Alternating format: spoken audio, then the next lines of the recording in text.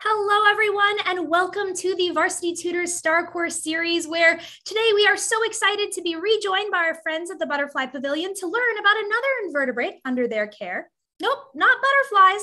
Today, we're going to get the chance to learn more about a creature that proves that some of the coolest critters can also be some of the creepiest and crawliest. Today, we're going to learn all about the cockroach. And I'm joined today by Calais Thomas, who will be giving us an inside look into this sometimes misunderstood critter. Before we get started, I want to make sure that we are ready to learn and to collaborate as much as possible. So, a few quick things to note.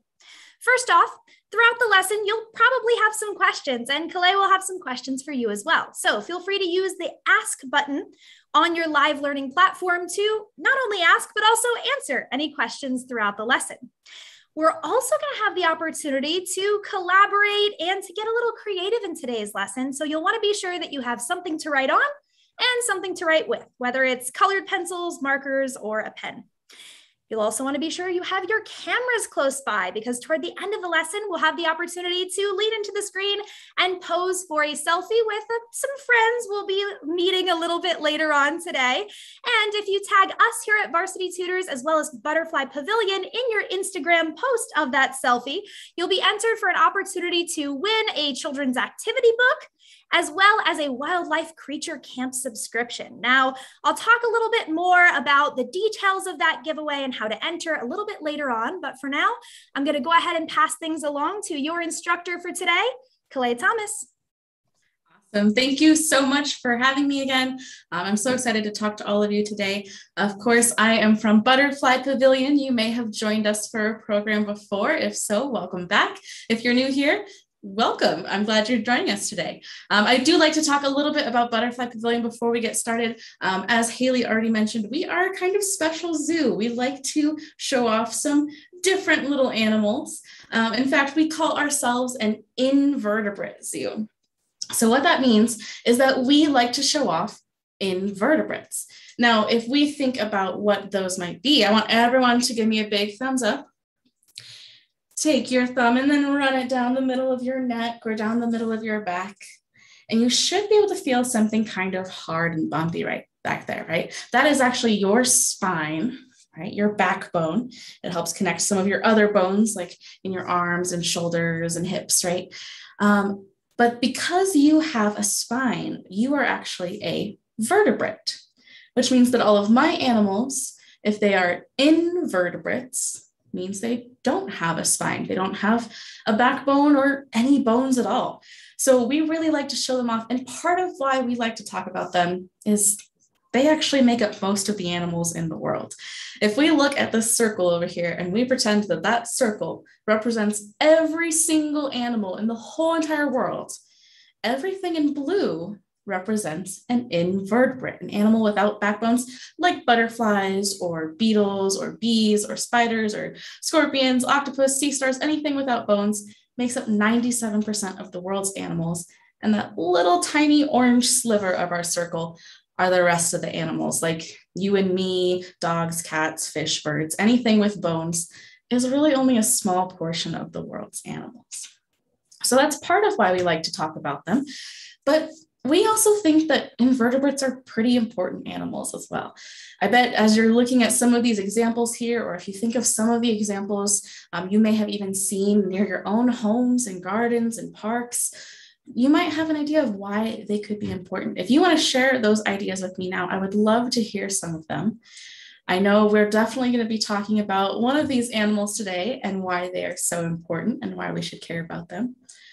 Um, but it looks like some of you have even had thoughts about bees and bumblebees and butterflies. I see a word like pollinator um, around, right? A lot of them are really important in pollinating our flowers and helping us not only get flowers, but vegetables and fruits and things we love to eat. Um, some of you, it looks like, took inspiration from the spider over here. Spiders are very important parts of our ecosystem because they eat all kinds of little pests that maybe we don't want in our gardens but they also get eaten by things and they're a very important food source for animals like birds and lizards. So they have a very important role in all of this balance here. So it's very important to think about some of them. If you have other ideas of different invertebrates and why they're important, please feel free to keep sharing. Um, but we are going to go ahead and think about what we're going to do today. Today, we are going to get to know a specific invertebrate and how to identify them from others. You're going to get a chance to ask lots of questions to learn more about our specific invertebrate. And we're going to discover more about the overall diversity and the importance of our animal we're talking about today. So, lots of stuff to get to. Of course, you know, we have already narrowed down what kind of animals we could be talking about. We went from every animal in the world to invertebrates, those animals without backbones. And even if we were going to talk about every single invertebrate, we would be here for a really long, long time. So, all of these different animals are invertebrates, which means I'm going to help us narrow it down even more. And we're going to focus today on insects. And we're going to think, think about a certain type of insect here in just a moment. But in order to talk about insects, we have to be able to identify them. And if you've joined us for some other programs, you might have an idea already of how to do that. Um, maybe you've learned about this in school, but I wanna know, how can we tell insects apart from other animals? What do we have to look for on their bodies in order to tell them apart? Go ahead and get some thoughts in for me. I know it takes a moment. I, I see already we have some folks saying wings right? A lot of insects do have wings, but not every single insect has wings. Not all of them do. Um, so that's a really good guess. Definitely, if you're looking at a small little invertebrate and it has wings, it is an insect, but not every single insect does have wings. Good guess. Oh, I see some of us are saying antenna. Yep. So if you think about antenna, everyone show me your insect antenna. Um, we have one, two, or um, if we think about it, it's pretty easy. That's how many fingers we have up, right? One, two, and that's how many antenna insects have. So we have our two antenna. And then I've also seen some about legs. Some of us might be a little divided on how many legs. I've seen a lot of different numbers pop up, but every single insect has to have six legs. And the last thing I've seen a bit thrown around are body parts. Every single insect has to have three body parts. They have a head, just like us. They have a thorax, which is where a lot of their legs and things are attached. So that's important to think about. I think about it like our chest, our thorax, and then an abdomen, which is where all their guts and stomachs are located.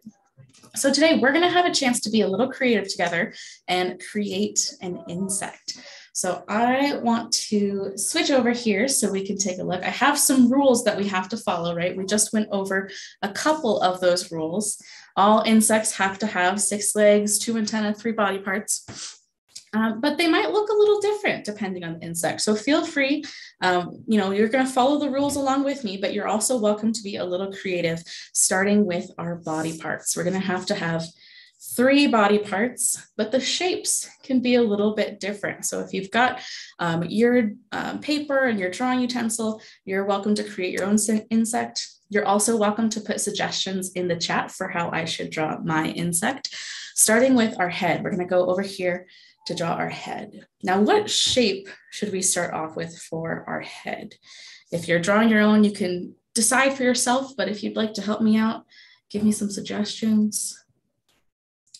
Yeah, I see a lot of us are saying a circle or something. That's perfect. So um, a lot of insects have a circle shape. Some have slightly different, like heart-shaped heads or even some like more oval shapes, but it's pretty good to start off with our little circle. So here's our head right there.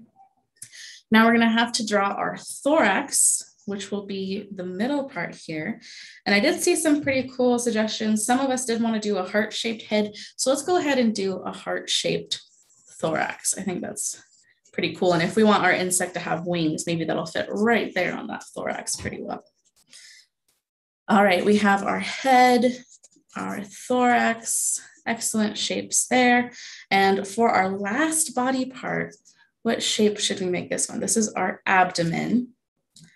A lot of times people do like an oval abdomen. A lot of insects have an abdomen like that, right? Like bees and butterflies have a really long oval abdomen. Uh, but I think I saw a suggestion of a diamond. I kind of like that one. So I'm going to go ahead and draw a little long diamond for my abdomen. So that's a pretty interesting looking insect there. Hopefully um, some of you who have been drawing along with me have some little creative insects with different shapes, or if you drew the same as me, that's cool too. Um, but we have completed one part, right? We have our three body parts. Um, we are also going to be thinking about some of these other things, right? So if we need to add six legs, one last rule we might have is that all of our legs have to be attached to the thorax. So our legs are never on our heads or on our abdomens. All insects have their legs attached to this middle body part here. So I'm going to give mine some really long legs all the way over all my words and everything. But you can decide to give your insect short legs or long legs, whatever you think works for them, um, works for you. Um, and if you do want to add wings to your insect, the wings also have to be attached to the thorax. So I think I'm going to leave mine without kind of like an ant or a beetle that doesn't have wings, right? So I'm going to leave mine without. But if you do want to add yours, just add them to the thorax, just like your legs. Now, the last part we have to add here is our antenna. And insect antenna can look really different. So you might decide that your insect just has a straight stick-shaped antenna like that. You might decide that they have kind of like a butterfly's antenna where they're stick-shaped, but they have like a little ball or they're kind of club-shaped at the end. Or maybe they're like a moth where they have really feathery antenna like that. Or if you really want to do something fun, maybe like a curly kind of um, interesting antenna like that. I don't know of any insects that actually have antenna like that, but I think it's pretty fun. I like to draw my insects with that all the time. But this one, I think I'm gonna go with one of my favorites, the really feathery antenna. So right off the top of my head, there are my two antenna. Um, so those are pretty good. I have basically everything my insect needs to be an insect but in order to survive, we might add a few other things like eyes, right? Insects tend to have really cool eyes with lots of little lenses in them. It's like they can see lots of pictures at once. We call those compound eyes. So I've added those in. You might decide to give your insect a mouth. I always like to make mine like meat eater insects. So they have to have this mouth that can catch their food like other insects and things like that. And you might decide that your insect has different colors or patterns. Um, maybe there are some other defenses that you can give them to help protect them from other things that might eat them. And we'll meet an insect today who has a few of those really cool defenses. Um, and I think it's about time we meet that insect today. So I'm going to go ahead and bring them on camera. As you might have already guessed or heard from earlier conversations, we are going to be talking about cockroaches today. So I do have a couple of these friends with me. And as we're looking at them, you might see if you can notice all the things that make them an insect, see if they have um, a head or a thorax or an abdomen, those six legs, I have one who's hiding underneath here who really doesn't want to hang out with us today, but we'll see if we can get them to come out. These are Madagascar hissing cockroaches. So they are pretty special. Um, we'll learn a lot about them today and even meet some other cockroaches who are a little bit different here. We'll just turn it over. Oh, oh no. There we go. There we go. There are our two cockroaches who we're hanging out with today. Um, you might even notice, even though they're the same kind of cockroach, they do have some pretty interesting colors. So um, there is one that is just kind of darker. It just means it has a lot more melanin in its color. Um, so it's just a natural variation of the same kind. Um, but they are um, both Madagascar hissing cockroaches. You can kind of see their legs um, their antenna. One of them is missing an antenna. They do live together in large groups, and sometimes that means they get into little fights with each other, um, which is okay. They're totally fine, but that does mean sometimes um, they lose an antenna or a part of their leg. It's just the hazard of living with a bunch of your closest relatives. Uh, but they are pretty interesting little animals. So we're gonna go ahead and take a close look. It is hard to see some of those body parts and things. So if we look at this picture that's a little bit of what they look like underneath, um, we can see a little bit more of those things. So I'm gonna set them down. We'll keep them on camera for a little bit. Um, but you can see um, underneath them, they do have those six legs. They have the three body parts, their heads right up at the top, their thorax, which is where all those legs are connected, and their abdomen, which is in the back there.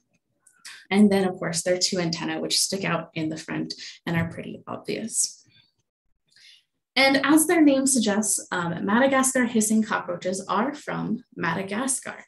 Um, it's an island off the west coast of Africa, and they live in the rainforests there. So as you're looking at them and looking at this rainforest picture, can you imagine where in a rainforest you might find them?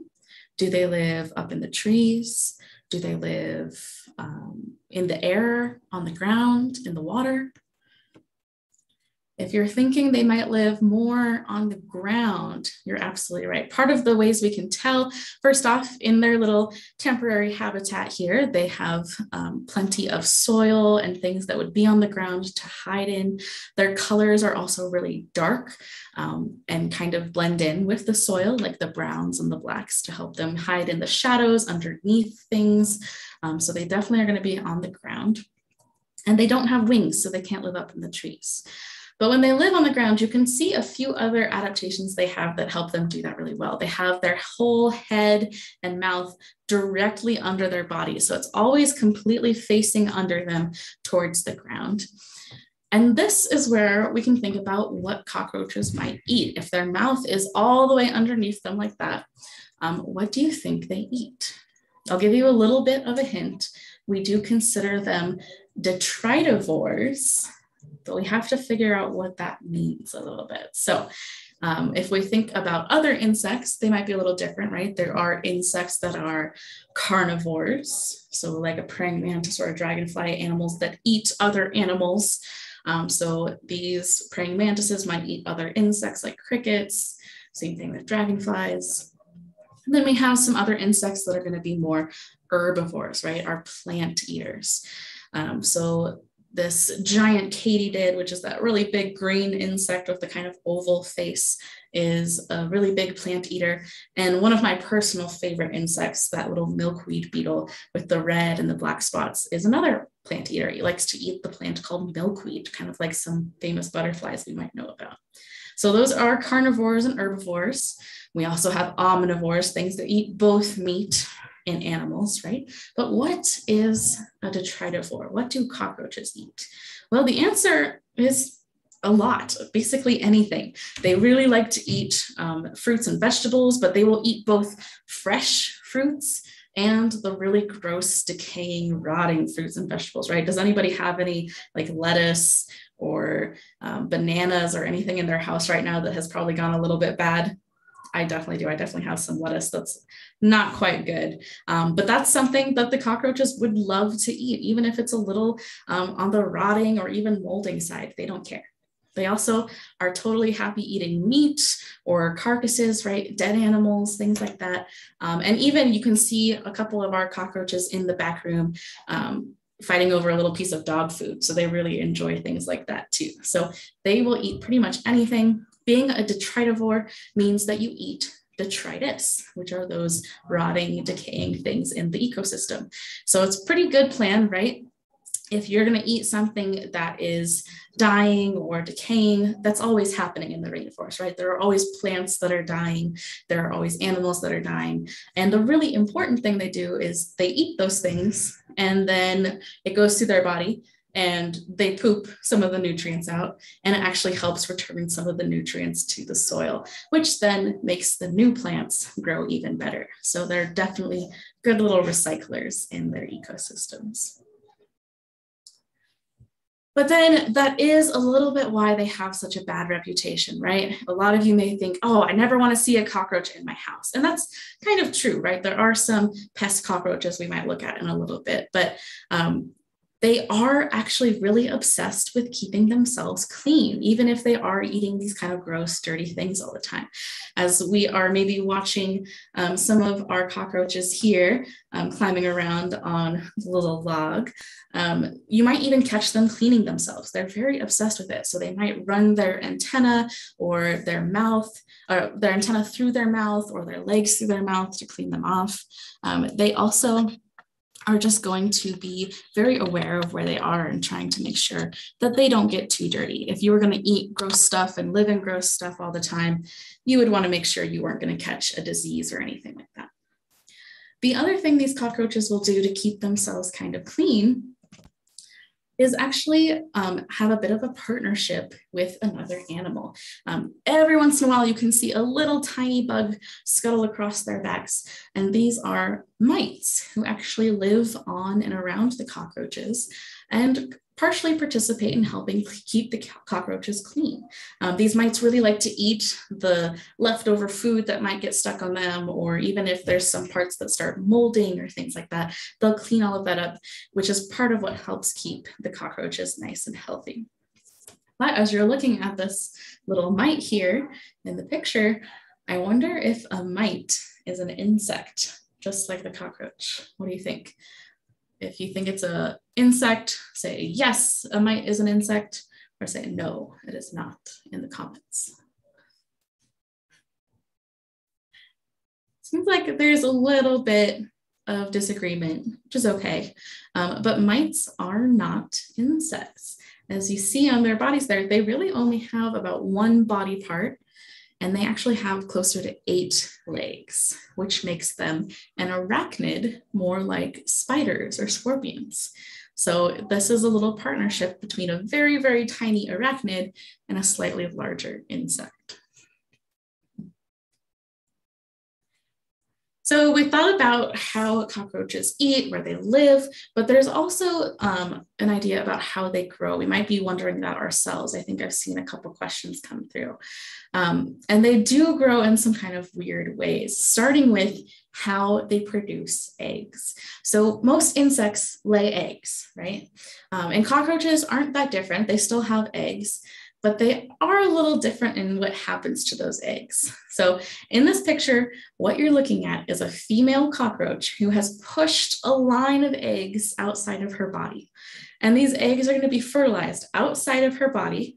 And then she's going to pull them back into her body and let them incubate there, kind of like a chicken sitting on her nest of eggs, right? Except it's inside her body. And then those baby cockroaches are actually going to hatch inside of her and crawl out once they're ready. Um, so they do kind of look like they give live birth because those eggs hatch inside of them and the babies come out. Um, so it is a little bit different from how some other insects um, might reproduce or might lay their eggs. Um, and once they come out, uh, we might think about how these little baby cockroaches are going to grow into their adult phases. Now, I bet some of you know how some insects grow already, right? If we think about butterflies or bees or beetles, how do insects like that grow? Do you have any ideas on how a butterfly or a bee or a moth might grow through its life cycle? I've seen some of us start with eggs, right? Just like cockroaches, they have eggs, except maybe they lay the eggs outside of their body and let them hatch. Yeah, I'm seeing some of us say caterpillar or larva um, or cocoon, right? So there's a few different stages we might be thinking about. For a butterfly that goes through something like metamorphosis, they're going to start as an egg and then they'll go into a caterpillar which will then go into a chrysalis and then go into an adult butterfly. And the adult butterfly will lay eggs and the whole process starts all over again. Now, something that goes through all of those stages, the larva and pupa, all of those different things, is going to go through complete metamorphosis. But a cockroach is going to do something called incomplete metamorphosis. It's going to be missing one of those stages.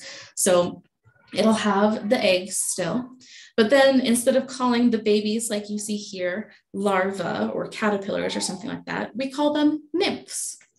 And instead of going into a pupa stage or a chrysalis or some sort of little shell at some point in their lives, these nymphs are just going to shed their skin over and over and over again until they become an adult, right? So there's no real big change that happens. They're just going to be getting bigger and bigger until they become the adult stage. And they're never going to have this point where they kind of shut down, go into a little shell, um, and come out a completely different animal like the butterflies do.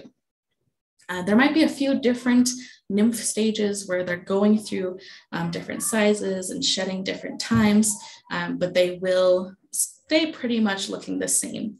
There are some cockroaches who start off not having wings, but then eventually get wings. So there are a few little changes that can happen as they grow, but for the most part, they are going to look pretty similar as adults. And one thing you may have been wondering when I first introduced these cockroaches here, I called them Madagascar hissing cockroaches.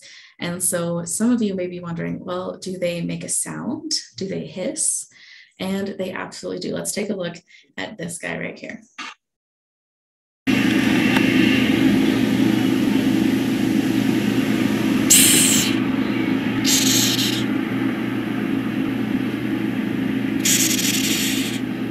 So that is a hissing cockroach. It's just like these guys. Sometimes when they're poked or bothered, they make that hissing sound like a snake. They're trying to tell you to leave them alone. There's something big and scary, right? Even though they really aren't. They're just hoping that you leave them alone and don't eat them. Uh, Cockroaches and all insects have little holes on their bodies called spiracles, which is how they breathe. So insects actually don't breathe through a mouth or a nose like we do. They breathe through little holes all along their bodies. And for cockroaches, there's a set of these holes that instead of pulling air in, they push air out really quickly, which is what makes that hissing sound. Um, so that is how they are able to produce that sound. Again, we might hiss through our mouths or like a cat might hiss through their mouth, uh, but the cockroaches are actually doing it through little holes on their bodies.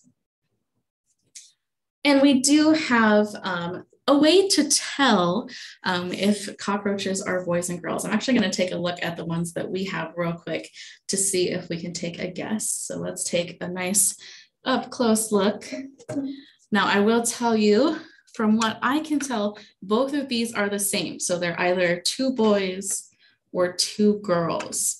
You get a couple different angles there. I wonder if you had to guess right away, what would you think? Are these boys or are they girl cockroaches? Mm-hmm.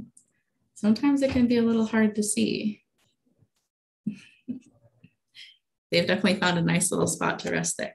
But let's see. If you were guessing that they were boys, you're absolutely correct. Part of how we can tell has a lot to do with the very front of their bodies. So, boy cockroaches have these little bumps or little horns on their heads um, that we can use to tell them apart, whereas a female just has a very smooth head.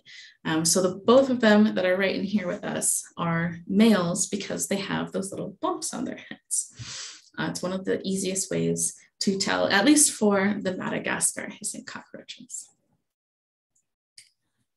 And as some of you may have been wondering, a lot of you are like, well, aren't cockroaches pests? Aren't they bad to have in your home? And sometimes they are. There are about 4,500 species of cockroaches in the world, over 4,000 species. And of all of those species, only about 30 or so at most are considered pests. So that means that about 30 of them are considered bad or annoying at the very least to have in your home. So in the picture here, we have some German cockroaches. These are ones that you can find all across the United States. Um, American cockroaches, Australian cockroaches, those are all going to be pest varieties. But ones like the Madagascar cockroaches we have here today um, are going to be um, not considered pests. They don't really live in areas where um, they're going to be invading people's homes or anything like that. So keep that in mind. There are some, um, like with anything, there's some good and some bad, right? And with the cockroaches, there are some species maybe we don't want in our homes, but there are definitely a lot of species that are very important to their ecosystems, like the Madagascar hissing cockroaches. In fact, there is a lot of variety in cockroaches overall. There are some really big cockroaches, like this species of Megaloblatta that lives in South America. They're actually about four inches long. So if you have a crayon nearby, a brand new crayon, that's about how big they are. And they've got these big wings, um, but they are only found in Central and South America. So there's some like that. There's also some like the smallest. This is a brown banded cockroach. Honestly, probably another pest species that lives in many parts of the United States, uh, but they're very, very tiny. They're only about the size of a penny. Um, so if you see any pennies lying around, that's about the size of one of the smallest cockroaches in the world. And as I said, you can maybe even find some of these in your areas. But beyond that, there's a lot of diversity in just how these cockroaches look. So um, there's some that look very similar to the Madagascar hissing cockroaches. This is a Halloween hissing roach. So it's just got some brighter colors than the Madagascar ones here. There are some that are a lot different. These are some giant South American cockroaches. Um, so they are in the similar areas as the largest cockroach that we just saw. They are pretty big, um, but they do have these wings. These are some of the ones that I just said will kind of change how they look from babies to adults. The babies look a lot like the Madagascar cockroaches, to be honest. But then as they get bigger, eventually they're going to shed their skin at one point and reveal these really big, beautiful wings. And that's actually what has happened to that cockroach in the very bottom picture, the one that's like all white. It has just shed, it's basically baby skin and become um, an adult with its adult pair of wings. Now there are some like the domino cockroach, which I think are very, very pretty. They're these beautiful black with white spots. Um, and they just prove that cockroaches can come in a lot of different looks and they don't always look um, like what we might expect a cockroach to look like. And before we really get into some of the questions I maybe haven't answered yet, I do want to share with you the story of the Simandoa cave roach. So these are some of the cockroaches we saw a little earlier. You saw him just um, steal that piece of dog food away from his friend there. Um, but they are a really interesting roach with a kind of unusual story. So they're considered an extinct roach because they actually are extinct in the wild.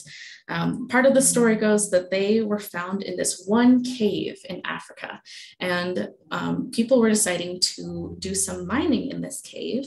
And when they sent in a team of biologists to investigate the area, um, the biologists discovered that there was this species of cockroach here that they couldn't find anywhere else in the world. And they were trying to tell them about this, but people decided it's just a cockroach. We'll mine in here anyways. Um, but luckily, the biologists were able to take a few of them and raise them up. These are now really popular in the pet trade. So they aren't extinct entirely, but you can no longer find them in their natural habitat. So it's just an important story to remember that, especially if we care about um, these tiny little animals, um, we can do really big things for them. These animals would be entirely extinct if um, it weren't for those group of biologists who saved them and took a few of them. So just an important little story. And I think they're really cool looking too. They've got that beautiful like black coating to the top there. But that is a lot of what I have that I wanted to share with you right away. If we do have some questions that I didn't get to quite yet, we can maybe answer some of those now. I'll go ahead and switch the camera back to me. I know it's kind of fun to look at those little guys sometimes, but Oh, that is so wonderful. And I had no idea there were so many different colors, so many different patterns than just the ones that might startle us when we find them in our homes. Now, we had some really wonderful questions, many of which you answered throughout the presentation. But before we get to those questions, I'd love to give everyone an opportunity to smile and pose for that selfie. So, as a quick reminder, if you post post these selfies on Instagram and you tag us at Varsity Tutors, as well as Butterfly Pavilion, you'll be entered for the opportunity to win the children's activity book that Calais is demonstrating or showing for us, as well as that wildlife creature camp subscription where in this one week camp, you'll have the opportunity to learn more about all sorts of wildlife, from incredible insects such as the ones we saw today to magnificent mammals to some pretty rad reptiles. And you'll also get the chance to complete unplugged and after camp challenges and receive some specialized content from our camp guest stars. So hopefully everyone's had the opportunity to grab your cameras and well, get to, to you know take a selfie with our guest stars of today. So I'll pass it back along to you, Calais. Awesome. Yeah. So definitely get your picture with these guys. You know, a lot of people will ask me if these guys have names, and they do not have names. So perhaps when you're taking your picture and posting it, um, you can tell us your idea for what to name these guys today. So uh, remember, they're both boys. They do have those little bumps on top of their heads. Um, but well, I'd love to hear some of your name suggestions for sure.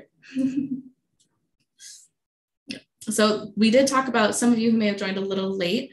Um, you'll notice that they are actually really different colors, right? So the top one here is a typical, what you'd expect to see of a Madagascar hissing cockroach. Um, but the bottom one is one we call more melanistic. So it has a lot more melanin in its skin, which gives it that darker color. So they are the same type, just slightly different colors based on what their skin is made up of. So definitely um, pretty interesting. It does mean they're different from some of those others, right? We saw the Halloween hissing roach. Those are different species that just look similar, but these are actually the same kind. Wow, thank you so much, Calais, and our Thanks. guest stars for, for posing so nicely for us. we had some really wonderful questions that it looks like we've got some time to answer. And first off, a kind of an interesting one. Uh, students are curious whether you can communicate with the cockroaches and like, you know, ones we might see in movies, whether they can be trained. Oh, that's a good question. Um, I don't know if we've ever tried to train cockroaches. Um, you can train a surprising amount of animals. I've seen fish be trained, uh, all sorts of animals. So um, it could be that we just haven't really tried yet. So maybe you saw they really liked the dog food. Maybe they need that good motivation of some of their favorite foods maybe we could teach them a few things based on that but i don't think we've tried yet. And i don't know if there's really a way to communicate with them. They definitely have a few ways to communicate with us right? If they're feeling scared or stressed they can make that hissing sound that's a good sign to us that maybe we should leave them alone and give them some time away from hanging out with these big scary humans like me right? Um, but we don't really have a good way besides just giving them food and giving them everything they need to communicate with them. It's really, we rely on a lot of what they do and how they behave to tell us um, what they need. Absolutely. And that certainly puts things in perspective that if you might find that you're a little fearful of a cockroach, imagine how they're feeling with, you know, a being that's much larger than themselves invading Definitely. their um, we had a cliche for a reason, but they are more scared of us than we are of them, for sure. we had a really interesting question. A student who is wondering that whether it might be a good thing if they encounter cockroaches in maybe their gardens or in their compost, given what you mentioned about how they help the dirt. Yeah, so especially um, in some more humid areas, I'm here in Colorado and we're pretty dry, so we don't encounter too many natural cockroaches outside of our homes. Um, but especially if you live in an area that's really naturally moist or um, has a lot of humidity, it could be a really good thing to see cockroaches, um, especially in your compost and gardens. I'd say I'd encourage that for sure. Um, it's when they are in our homes or in our kitchens, often that's when it gets in trouble. Um, even though they are obsessed with keeping themselves clean, often they do still carry diseases or mold or things that we just want to keep out of our kitchens. But in other places, that might not be such a bad thing. Um, definitely, um, I've seen them in, um, oh, like our rainforest. We have a rainforest full of butterflies, and we have lots of cockroaches in there. Um, just naturally, they help recycle some of those plant nutrients um, that are really important. We do have some spiders in there as well, so their populations are kept down. But there's it's all about that balance. You want to have some of the detritivores and carnivores and herbivores you want a little bit of everything um, in order to keep an ecosystem pretty healthy. Wow. And keeping, speaking of keeping those ecosystems healthy, uh, we had some students who were wondering whether these extinct in the wild species are ever reintroduced into the wild or whether they're kept exclusively under human care. Yeah, it really depends on the animal. For some of them, we can reintroduce them. Um, and it goes okay. Like there's been instances of us reintroducing wolves to places where they used to be, and that works out sometimes. Um, but it also depends on what's happened with the animals. Sometimes when they're under human care, they can pick up um, parasites or diseases that don't hurt them, but if we release them into the wild, could cause a problem um, in the ecosystem. Even though they used to belong there, now they have something else that can cause a problem for the ecosystem. So I imagine with our cave cockroaches, um, there's probably conversation about reintroducing them, but we also just don't know what they might have picked up um, under human care that could be bad for the environment if we release them back. So there's a lot of conversation and research that goes into um, handling those animals and reintroducing them whenever that comes up. So absolutely. And actually, Speaking of research and perhaps pursuing a career in a direction like the one that you've chosen, caring for and learning more about uh, these species, we had some students who were wondering maybe right now insects aren't their favorite thing in the world. They would be a little more fearful than you were to interact with and to pick up these species. We had kind of a two part question here of one, um, if you want to work with animals, do we need to be comfortable working with bugs? And how might we go about getting over some of those fears associated with insects? Yeah, for sure. Um, definitely, if you want to work with animals, you do not have to work with bugs. There's all kinds of animals, right? And some people, you know, don't like working with birds, so they like to work with um, reptiles instead, or people can't handle reptiles, so they work with monkeys or other mammals instead, right? So there's all different kinds. Um, you can definitely find one that you are comfortable with and that you are really passionate about. I happen to be passionate about bugs, um, but I also really like a lot of different things. So um, there are some bugs I would never want to work with. I like looking at like centipedes from afar, um, but cockroaches I'm totally okay with. So it does depend on what you you are comfortable with. Um, and what was the second part of that question, Haley? I think I got so caught up in that one. Sure. So basically, you know, if someone was interested in learning more about and being a little more up close with these insects, how might they overcome being fearful of them? Yeah, I think it's just um, being around them a lot. Um, we have a tarantula who you might be able to meet a little bit later this year if you come back. Um, but we actually hold her with people on site at Butterfly Pavilion. And sometimes people, they don't want to get too close to her. But then the next time they visit, they decide they want to sit next to her and they don't want to hold her. And then the next time they visit, they decide they want to hold her. So it's just all about um, going a little bit out of your comfort zone every time, um, especially if you can find animals that you know are totally safe and that you can kind of just casually interact with. Um, eventually, you just work up those little steps and can be really comfortable. I used to be really scared of bugs and spiders and things, and now I work with them all the time. So uh, it's just a matter of getting a little used to them. Awesome. And I imagine that, you know, students taking the time to be here with us today and learn all of the wonderful positive things that cockroaches contribute couldn't hurt either. It's um, a great first step for sure. we uh we so we got this question a lot, so I have to ask it. Uh can and do cockroaches bite? they I think it's physically possible for them to, um, but their mouths are more specifically made to like chomp down on like plant material. Um, and I've never been bitten. So um, it might be possible, but it doesn't really happen that often, if it happens at all. All right. So, certainly in that regard, not something that students should be terribly worried about. Um, and not sure if this question has stemmed out of more curiosity or that they might like to encounter these particular insects, or maybe they prefer not to. But we also had a lot of students who wanted clarification just to see those uh, those Madagascar hissing cockroaches. Those aren't something that they would expect to find in their homes, correct? No, they are definitely um, they're an endemic species, which means they can only be found on the island of Madagascar.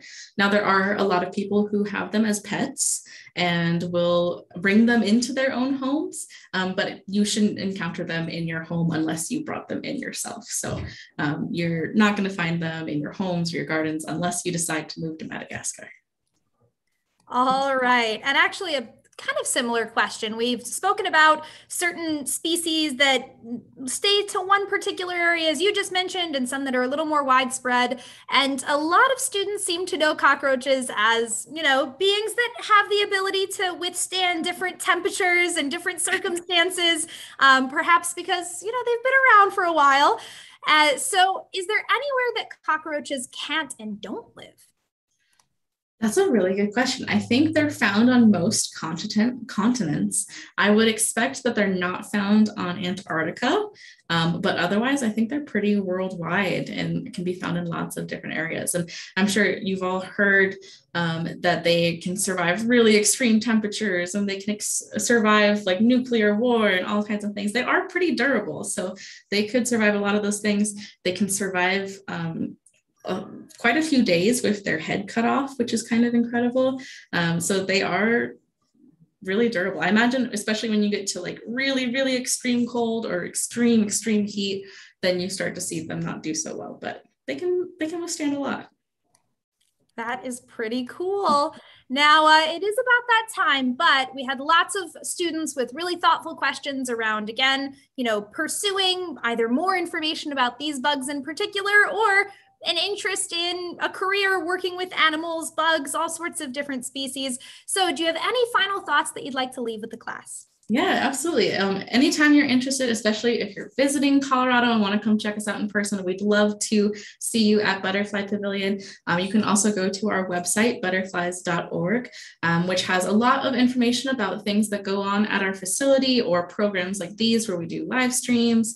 Um, but as well, um, just there's a lot of resources there, um, how to find bugs in your area, how to make pollinator gardens, all kinds of things you can do um, at home to really get involved and interested in invertebrates in general. So definitely check out our website. Um, we are also going to come back to hang out with varsity tutors in September for a beetle program, and then again in October for a tarantula program. So we would love to see you at both of those things as well.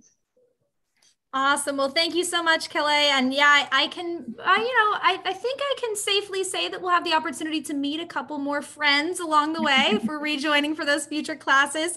Uh, thank you so much to everyone who joined today and asked such thoughtful questions and participated. We hope to see those selfies. And if you drew along with us, maybe you could include that in your post as well.